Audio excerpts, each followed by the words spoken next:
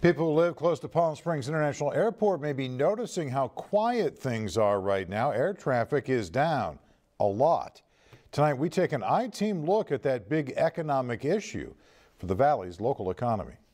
Where we should be having, having normally 65 to 70 flights a day, uh, this month in peak season, uh, we're, we're about uh, 5 to 10. I talked with Palm Springs City Manager Dr. David Ready via Zoom. This is what the airport should look like this month. Instead, it's nearly empty.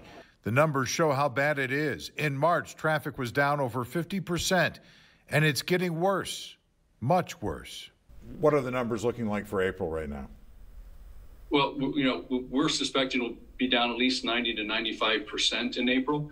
And it's expensive. We anticipate that have probably at least a, a 10 to 12 million dollar revenue loss by the end of this fiscal year. Some good news this week. The airport will be getting around $11 million from the federal CARES package. It won't bring back flights on its own, but it will maintain operations without layoffs. Uh, airports are considered essential. So the money gets the airport through the crisis, but does it bring back those flights? Have you been told by any of the airlines they're going to change their plans uh, for next season? Well, and that's the, the difficult part. As you know, right now it's sort of like anyone's guess. It comes at an especially difficult time when the Valley's economy and the airport itself were as strong as ever.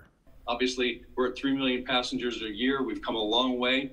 Uh, and so this is a significant, a sig significant negative impact to us, but we've got to be ready to re-enter the economy as soon as, as soon as we're able.